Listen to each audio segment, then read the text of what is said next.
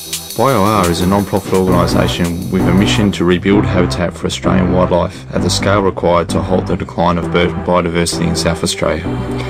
Each year BioR supports the KI Planting Festival in partnership with DENA, Nature Foundation, UniLife and Conservation Volunteers Australia. The 2011 KI Planting Festival was held on the 8th, 9th and 10th of July to reinstate friend plant habitat and 120,000 plants, including 100 native species, were planted by nearly 700 people over the three days.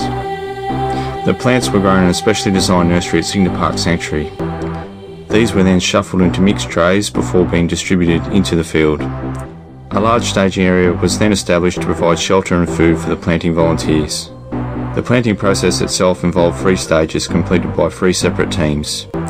Stage 1 Distribution of plants into the field. Stage 2 Digging of holes using a Hamilton tree planter. Stage 3 Planting and pot collection, usually by a large team moving across the landscape in a single line. The average planting speed by, by the teams over the three days was around 7,000 plants per hour. At its peak, this speed reached 10,000 plants per hour.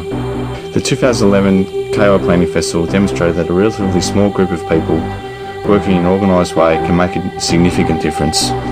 BioR looks forward to supporting future programs to reinstate habitat for wildlife on Kangaroo Island and elsewhere in South Australia.